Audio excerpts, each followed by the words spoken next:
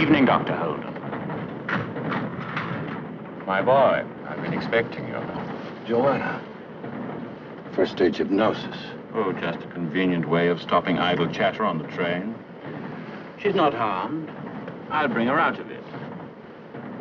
Now, wait. There's a friend here. Talk to him. John. This is abduction, you know. Oh, dear me, no. No, no. She came quite willingly. You came willingly, didn't you? You remember, we discussed it, oh, at great length. John, he's frightened. Terrified of you. I thought it was supposed to be the other way around. He's trying to run away from you. You see why I let her sleep? This idle chatter. Karswell, I know now that you were right and I was wrong. Really? But there is a way out for me. You always said so. Yeah. What's this? Read it. You want me to admit your power. You can send this to any newspaper and photostatic copies to all your followers. Isn't that what you want? Yes, but uh, it's uh, too late now. It's six minutes to ten.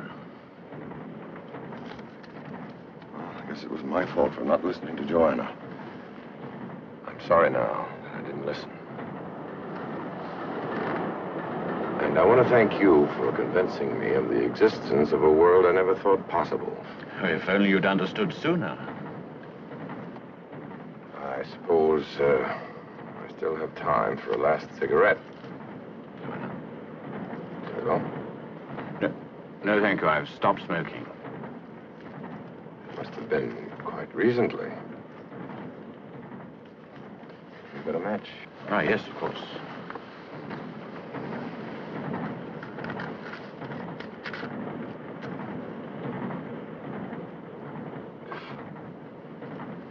Thank you. That's all right. You keep them. I shan't need them anymore. You're very generous. Well, uh, I leave you two alone. I know there's a certain feeling between you, and you might want to be alone. Sit down. Your generosity is becoming overwhelming as it gets closer to 10 o'clock. You're staying with me, Karswell. You've sold your bill of goods too well, because I believe you now. I believe that in five minutes, something monstrous and horrible is going to happen. And when it does, you're going to be here, so that whatever happens to me will happen to you. You're insane. You can't do this. No? You're staying here, Karswell. You're staying right here. No. Uh, Let him go, Holden. this man's insane. I must go. It's all right, Doctor. We're the police, as Holden knows.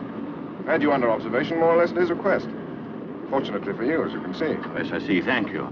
It's obvious that Holden has got a bit of a persecution complex about you. Something about your putting a hex on him. Well, that's utterly ridiculous. Now, if you'll excuse me, I'm getting out of this station. John, he's lying. He bought a ticket to Southampton. I saw it myself. This is idiotic. I can leave this train when I want. Excuse me. Here's your book. No, no, no, no, it's not mine. I, I found it here when I got on the train. Your bags? sir? My bed. Oh, uh, yes, yes, of course. Yes. These are his, too. Well, you want your hat and coat, don't you, sir? My coat. Oh, yes, yes. Yes, very forgetful of me. Thank you very much. I... You passed them.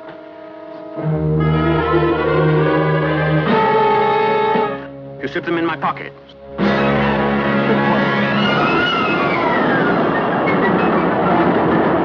It's two minutes of ten.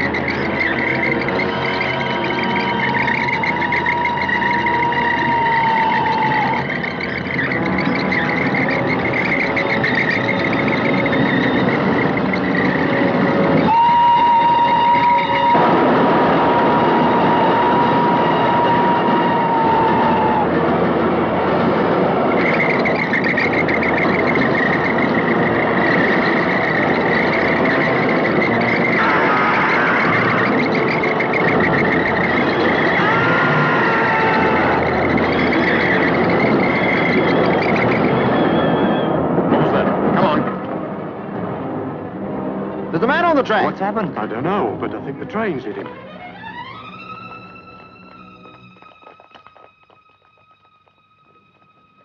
Maybe it's better not to know.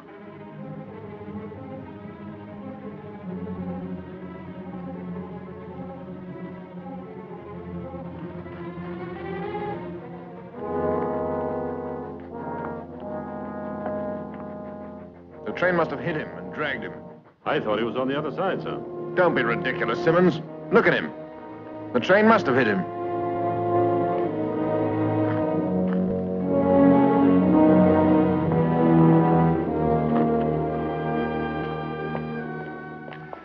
You're right. Maybe it's better not to know.